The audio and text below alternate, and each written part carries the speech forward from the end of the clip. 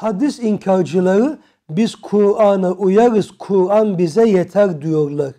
Biz de onlara diyoruz ki madem siz Kur'an'a uyuyorsunuz o halde şu ayete dikkat edin.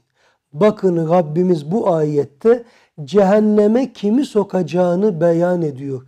Estaizu billah. Ve men yuşagigir rasul. Kim Resul'e muhalefet ederse min ba'di ma tebeyyene levl huda kendisine hidayet belli olduktan sonra ve yettebi gayre sebilil müminin ve müminlerin yolundan başkasına uyarsa nuvallihi ma tevella onu döndüğü yolda bırakırız ve nuslihi cehennem ve onu cehenneme sokarız. Ve saat mesira cehennem ne kötü bir varış yeridir.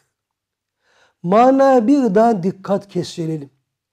Kim kendisine hidayet belli olduktan sonra Resul'e muhalefet eder ve müminlerin yolundan başkasına uyarsa onu döndüğü yolda bırakır ve cehenneme sokarız.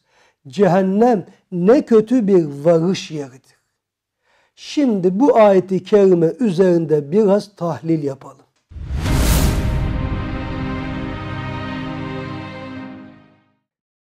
Cenab-ı Hak bu ayeti kerimede iki kişiyi tehdit ediyor.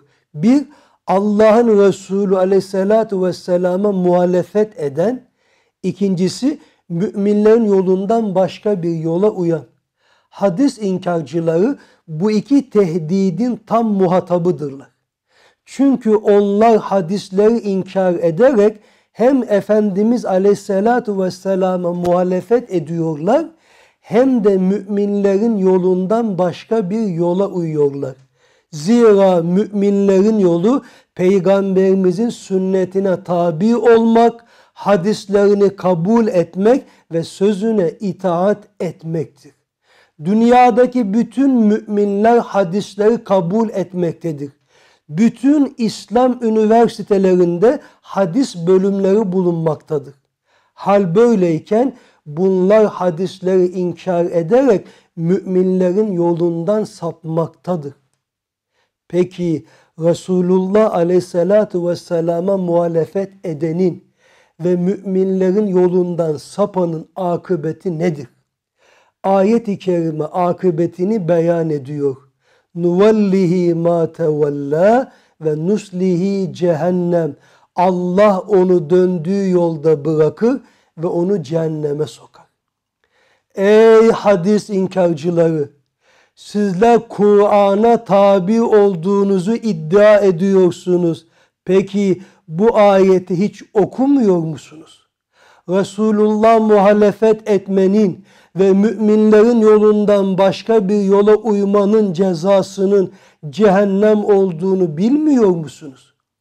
Bilmiyorsanız şimdi öğrendiniz. Peki şimdi ne yapacaksınız? Resulullah muhalefete devam edip müminlerin yolu dışındaki dalalet yolunda yürümeye devam mı edeceksiniz? Yoksa tövbe edip Efendimizin sünnetine sımsıkı yapışacak mısınız?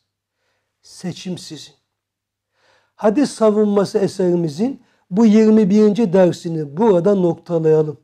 Bir sonraki derste buluşuncaya kadar Allah'a emanet olun.